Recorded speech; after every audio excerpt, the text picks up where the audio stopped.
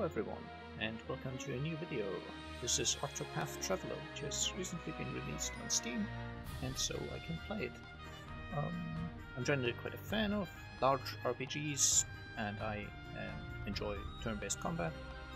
The story of the game that I've seen so far is very anime, so I guess anime warning to anyone who you know, is offended by that sort of thing. It's a bit annoying, but the bits I've seen were still bearable. Um, I've only played about three hours, maybe.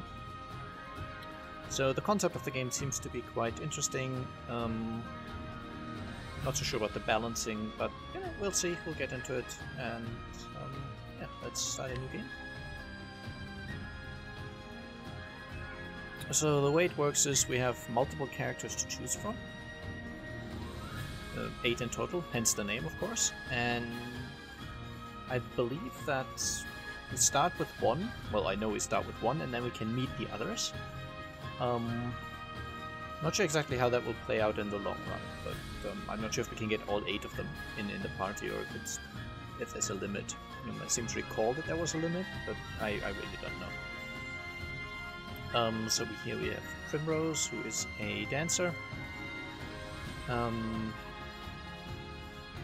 and yeah, if you like, you can pause to read their backstories, but we'll get to see the backstories anyway, so it's not directly relevant. Um, here we've got, I guess, a standard warrior type. Um, Tressa, a merchant. We have Cyrus, a mage type character. Um, we have Ophelia.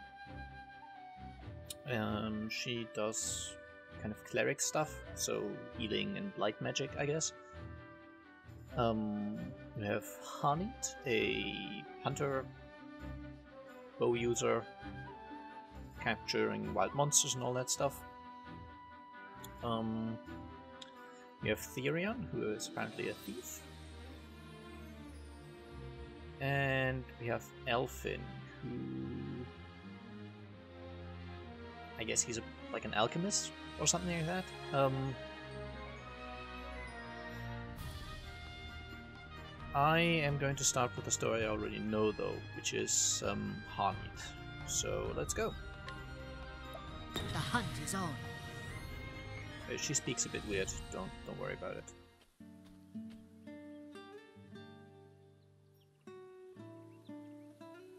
I'm not gonna read this out, so if you uh, if you want to read it, I'll give you enough time to pause it, basically. Good. Thou hast yet to depart.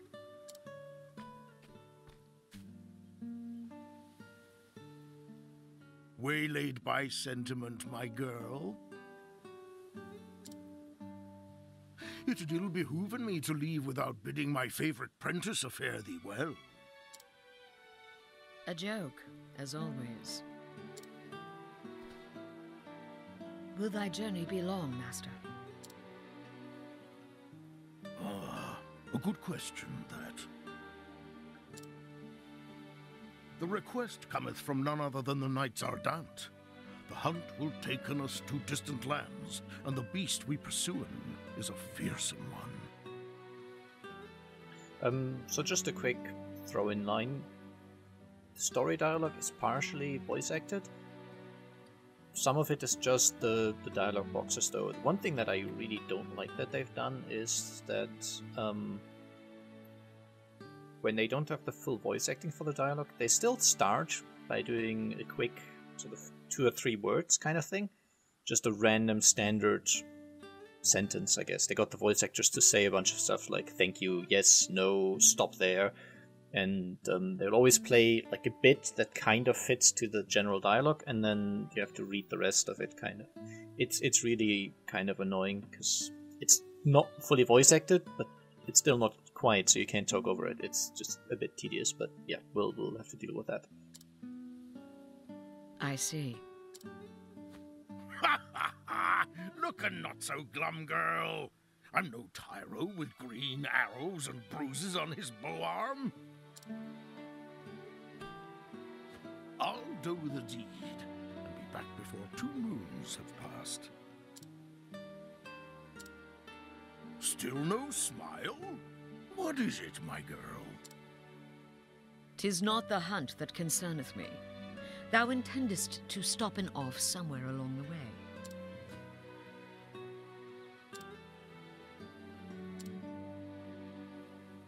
Oh, here and there, mayhap. Why dost thou ask?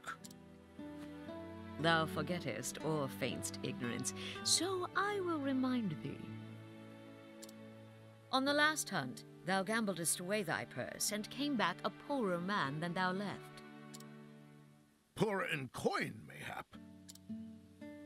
Yes, I did make a few wagers at the arena in Victor's Hollow. And learned that while I have a keen eye for assessing the strength of beasts, I am quite at a loss with men. A valuable lesson that was cheaply bought. Not so cheap in the end. Eliza had to pay on thy debts, and thou only finished its paying her back this last moon. Promise me, master, no more foolish gambling.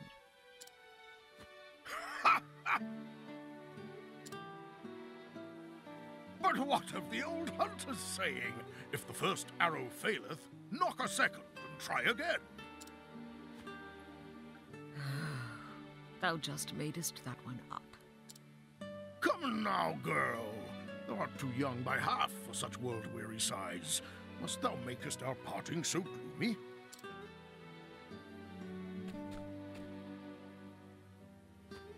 I turn to thee, Hagen. Looking after master, for he can rarely be bothered to looking after himself.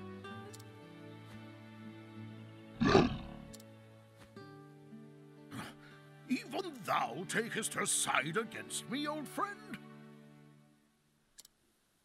He knoweth good sense when he heareth it.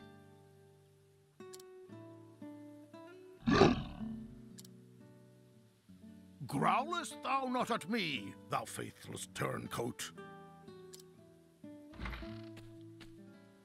Hail, H'aanit. Have you come to see us off? I have come in to warn master about straying from the path. And I thank you for it. I do not have the leaves to pay another debt like that. Have I not a single ally in this infernal village? I am your friend, but I am also a Knight Ardent, and your client. You would do well not to forget this. Not for a moment, most honorable Lady Eliza of the illustrious Knights Ardent. That's more like it. Fear not. I'll keep him out of trouble. I'll have him fill his evenings penning a detailed account of our adventures on the hunt.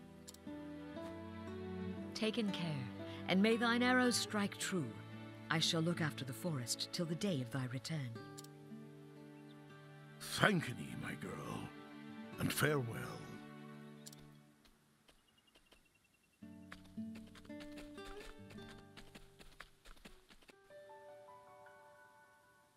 A year hath passed since that day. In all that time, Master could only be bothered to send in a single letter. H'aanit, tis me, thou revered master. Missest me? I won't bore thee with any blather about the weather or the season. Who knoweth when this will even arrive, after all?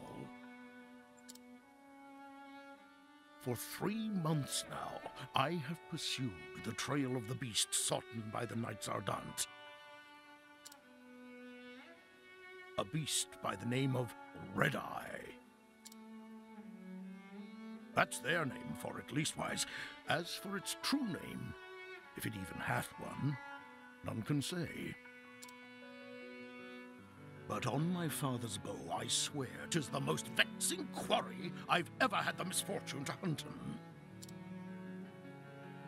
It eludeth mine every trap, and though thou may thinketh me mad for saying this, I swear it can even senseth every move I make. I know not if it is human intelligence or pure animal instinct, but either way, it refuseth to be caught. Still, we appear to have annoyed it sufficiently that it is moving on to new pastures. Judging from its behavior, I believe it meaneth to make for the lands around Stonegard. I will be frank with thee, my girl, for thou'st always been able to see through my pretenses. The chase will be hard, and the hunt will not endeth soon. But fear not, for endeth it shall. Hast thou ever knowst your master to failen in a hunt? And so I ask thee, my dear apprentice, pray look after the village until I return. Oh, and be not a worrywart. Always thy friend and teacher, Z'aanta. Never heard Master admitteth that any hunt would be difficult. Either this red eye is truly the most formidable of beasts, or he stoppeth in every gambler's den from here to Stonegard. But no, Master liketh to act in the fool, but when it cometh to hunting, if he saith he will catcheth his quarry, then catcheth it he will.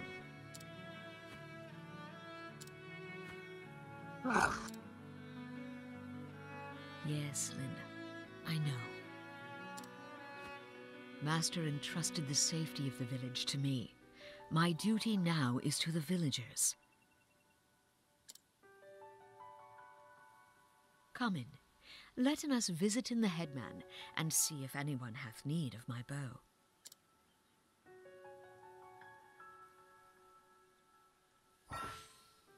Um, okay, so we basically, they call it the radar, but it's a mini-map at the um, bottom right. I can turn it off using RB, but I don't really see why I would. So there's a mini-map. Um, current goal marked in green, side quests I guess marked in orange, and that marking just above me right now on the mini-map is a um, yeah an area transition.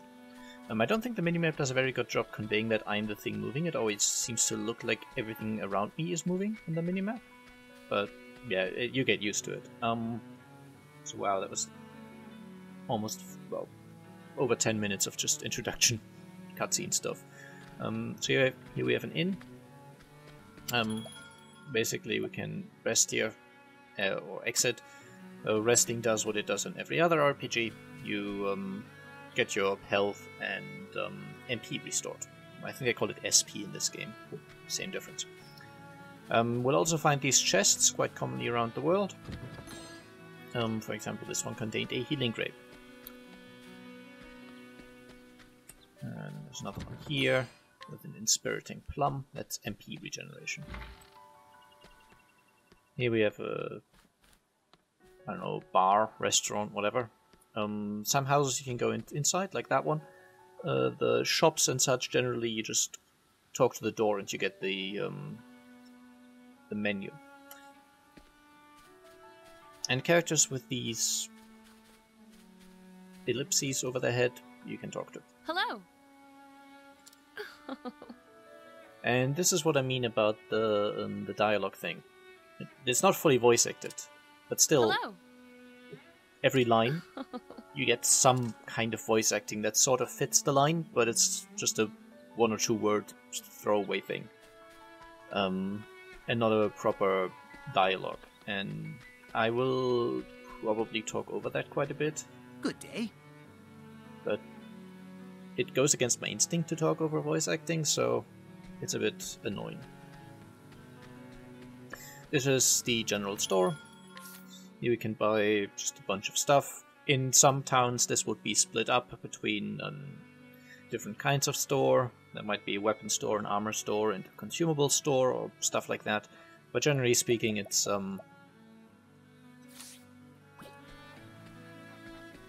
yeah, in some form or another, you get shops in most cities. This is a save point. I'm going to override my old save.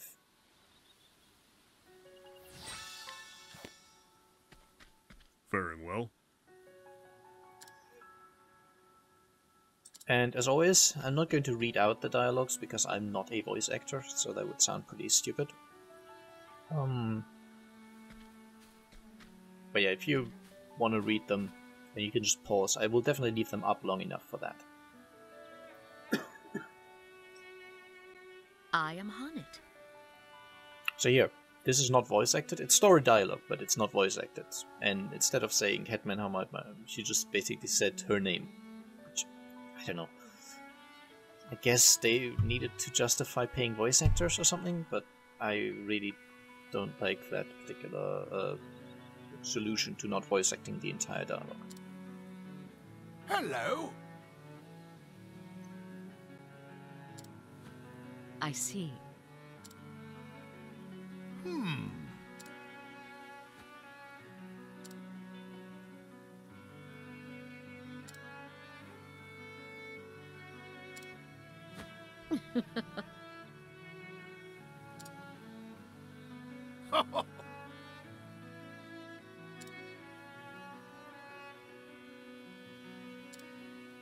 I'm asking ye. Yes.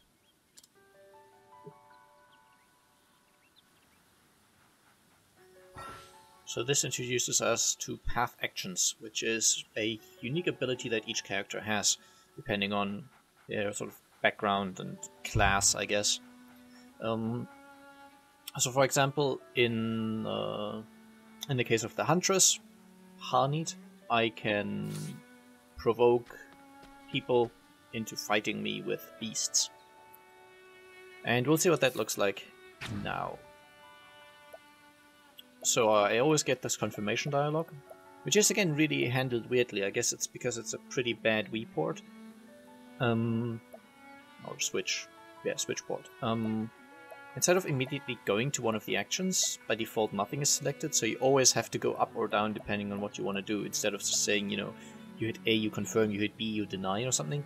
You just always have to actually end up selecting one or the other. It's it's more inputs than are necessary, and other RPGs have definitely handled this um, significantly better. But yeah, we're going to provoke this hunter. Letting us beginning.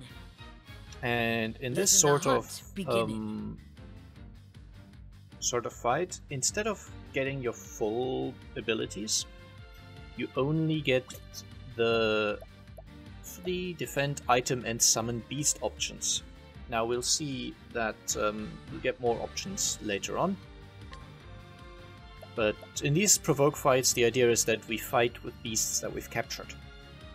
Um, so we start out with a mossy meep for health restoration, a forest fox that has a blinding attack. The blinding chance seems to be quite low, maybe 10 to 20% from my experience, so it doesn't really happen that often. And these two have a limited number of uses. So beasts we catch in the wilds have a certain amount of times we can summon them, and then they're basically gone. They leave, I guess. Um, we also have Lind, who is the big cat that's our permanent companion. And there's no limit on how often we can summon Lind. Now, the combat Letting the system has beginning. a feature where enemies are vulnerable to certain elements, um, which we don't know by default which those are. We can see that this guy has a vulnerability to um, sword attacks, so that's what the sword icon underneath the character indicates. And there are three question marks next to it, which indicates there he has three other vulnerabilities that we don't know. Um, if we hit him with that kind of attack, we would find out. But of course, right now all we have is a forest fox, which also does a sword attack. Um, now Linde can also do a pounce, which would be a pole armor attack, so we might be able to see that he's weak to a um, pole armor attack as well. And now we can What see that the enemy also has a shield next to his name, so a 1 in that blue shield icon. And if he is a hit with an attack that he's vulnerable to, then the shield counter will go down by 1. And he will get broken. So you get this break didst text. Fight with courage. Um, of course, this fight was way too short to make it matter, but um, Now then. So, Oh. so when you break an enemy, basically their turn gets cancelled and they're kind of staggered for a bit. Um, it's a bit like the stagger mechanic from from Final Fantasy 13, maybe. Um, not identical, but the idea is if you hit them a lot with hunting. attacks that um, they're vulnerable the to, hunt then you can get them into a state where they take increased damage for a bit, and you can also skip one of their turns. So right now, if you can see the turn order up above, it is my character first, and then the, um, the hunter. Now that I've broken him, he doesn't get his turn, What next? so basically I get to um, get to attack again for free once. And he also takes additional damage when he's in that broken state. Let in my arrow. F- So you see that was 107 damage. He took 166 Thou when he was uh, when he was broken. So I'm not sure exactly what the numbers on that are, but you do bonus damage to enemies that are um, are in that break state. Well, Uh, yep. excellent. Um, no, get the story. Hello there. Huntress H'aanit. Yes, that's me. Hmm? Um, well, Understood. that's Hmm.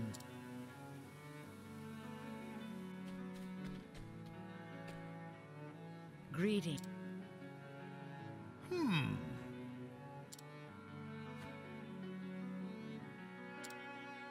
I see. Hmm.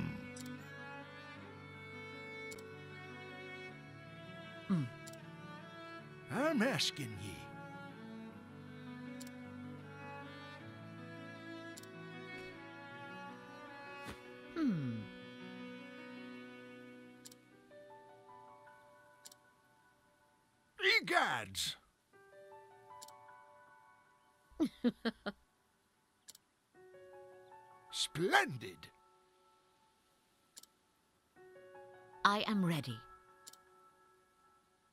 Asking ye. Fair.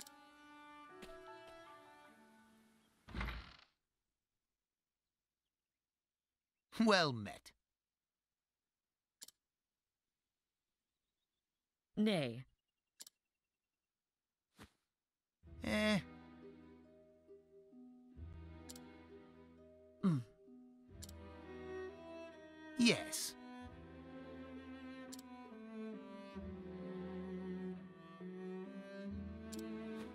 This bodeth ill. Well, actually,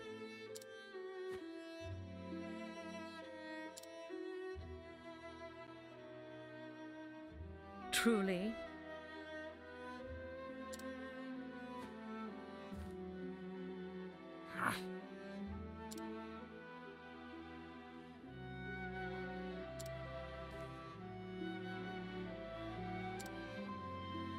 I am ready.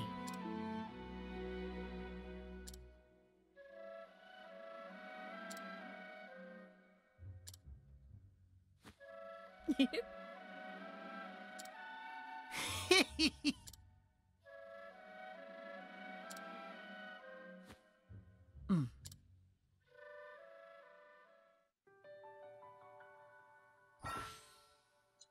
Okay, so at this point we um, have gotten a task to hunt a beast that has apparently strayed from its usual surroundings, whatever.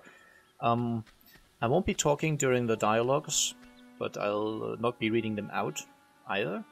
Um, I think that's probably a good solution. That way, if you don't care about the dialogues or you already know them, um, you can just kind of hit forward a bit, and um, you won't be missing any of my commentary. Really, I think that's that's a good way to handle that. Um, if YouTube still had annotations, I would basically provide you with skip dialogue buttons, but I don't think it does. Um, you get like info cards, but I don't think they do the same thing. I'm not sure. Maybe I'll, I'll look into that. But um, yeah, I'm, I'm going to end this first episode here. Um, let me know what you think, and I'll see you again soon. Bye bye.